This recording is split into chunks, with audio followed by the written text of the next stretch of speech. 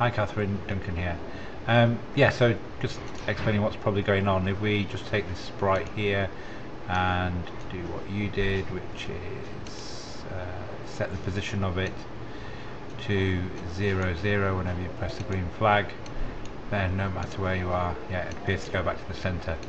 And I presume that you've got a sprite here, you've written this code and you're pressing the green flag and it's not appearing back in the center, but you've definitely got a sprite.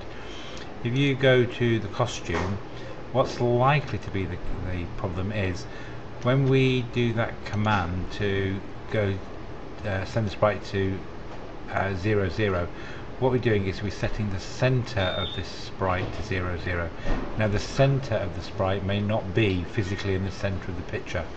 So if we go to costumes uh, look up here uh, it's really difficult to see on this screen but there is a, a tiny dot um, in the middle there which is where the center of the screen is at the moment. If, if you can't see it you can click on this cross up here and that tells me now the center of this sprite is here.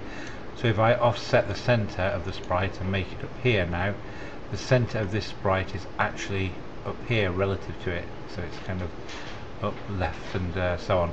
So now if I drag my sprite anywhere on the screen and rerun it well it has put the center of the sprite in the center of the screen up here but your sprite's obviously offset so what's likely to be happening is somehow the kids have dragged this out of the way somewhere and maybe put the center up there.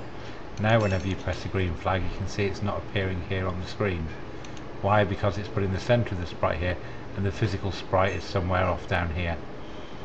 So just to reiterate that, go back to here, go to your costumes, go to the center and just have a look around, see if you can find where the centre of your sprite is because it could well be uh, off the screen.